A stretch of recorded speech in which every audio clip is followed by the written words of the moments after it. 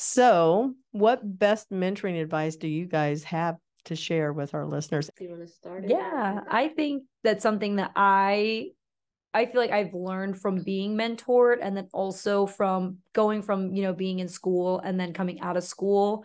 Like, I wish I would have put myself into more uncomfortable situations. Mm. I don't feel like you should be afraid to be uncomfortable when you're learning because it is uncomfortable. Like Yeah. I know for myself when I was in school, like I like I talked to other, you know, students who were, you know, they had all these internships.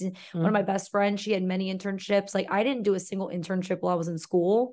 I worked. I actually had a real job. And I Mm. wasn't necessarily what I wanted to do because I wanted to do event Yeah. coordinating and I was a server. So it didn't necessarily correlate. It was hospitality. And I just wish that I would have taken the time to be more uncomfortable with like putting myself out there enough to go to more interviews for, you know, to be considered for internships because who knows where it would have gotten me.